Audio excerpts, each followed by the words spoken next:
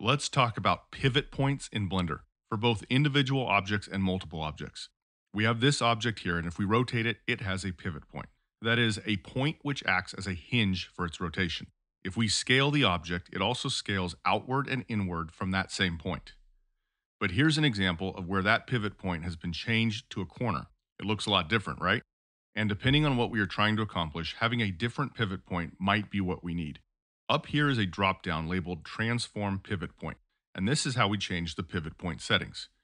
These options, Bounding Box Center, 3D Cursor, Individual Origins, Median Point, and Active Element, may or may not give us different results depending on if we are in edit mode or in object mode, and depending on how many objects or elements we are rotating or scaling at once.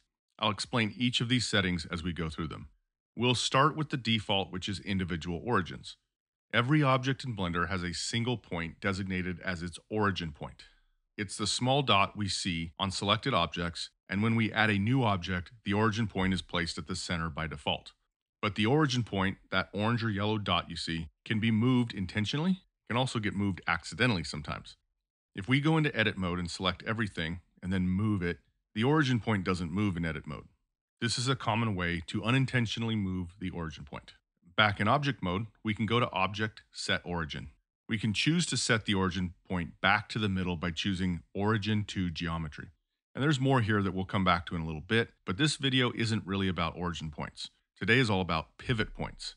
And origin points are just one possible pivot point. And while you're here, please hit that like button and sub to help me get to that 100,000 sub mark. It'd mean the world to me. Thank you so much. So what's important is that with individual origins set as the pivot point, the origin point is what the object will rotate around and also where it will expand from and collapse to when we scale it. But what about with multiple objects selected?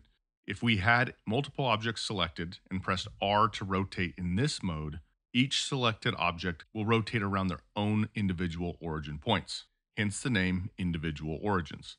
In edit mode, the selected mesh will also rotate around the object's origin point. Let's change the pivot point method to median point and see the difference. With a single object selected, rotating with median point will have the exact same effect as individual origins did. But if we select multiple objects and then press R to rotate, the objects will all rotate around a point in space that Blender has calculated as the median point. It's the median location of each object's origin points. When R is pressed, a dotted line will point from the cursor to the point in space that's being used as the pivot point.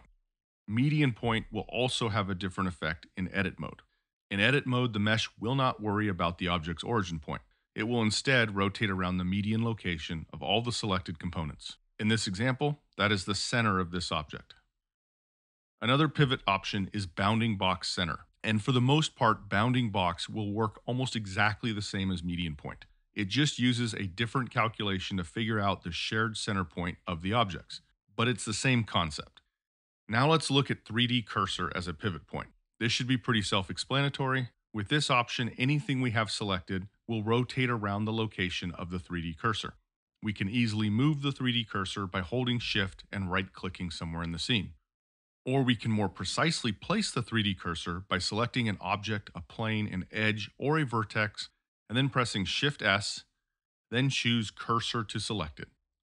Anyway, with the 3D cursor selected as our pivot point, whether we have one object, multiple objects, whether we're in object or edit mode, whatever we rotate or scale, we'll use the 3D cursor's location as the pivot point.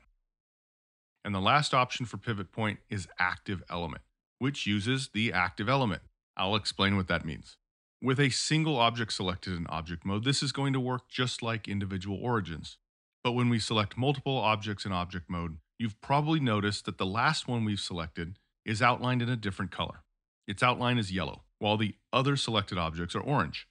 The yellow outlined object is called the active object. And this active object distinction is used for many things in Blender. When the pivot point is set to active element, this active object will be used as the pivot point. Specifically, the active object's origin point will be the pivot point. Stay with me. In edit mode, we also have active elements. If we select multiple faces in edit mode, we'll see the last one selected will be outlined in white instead of yellow. That's noting that this face is the active element. Then when we rotate the mesh, it will use the center of that active face as the pivot point. If we were in edge select or vertex select mode, we'd have similar active elements that could be used. I have two related videos that might be helpful. I have a full deep dive into rotation in Blender, which is every possible thing I can think to cover about rotating things in Blender. I also have a shorter video specifically on origin points. I'll link to both below. My name is Brandon, and I'm a real person making no fluff, straight to the point Blender tutorials. Please hit like, become a subscriber, and stay creative. Thank you so much.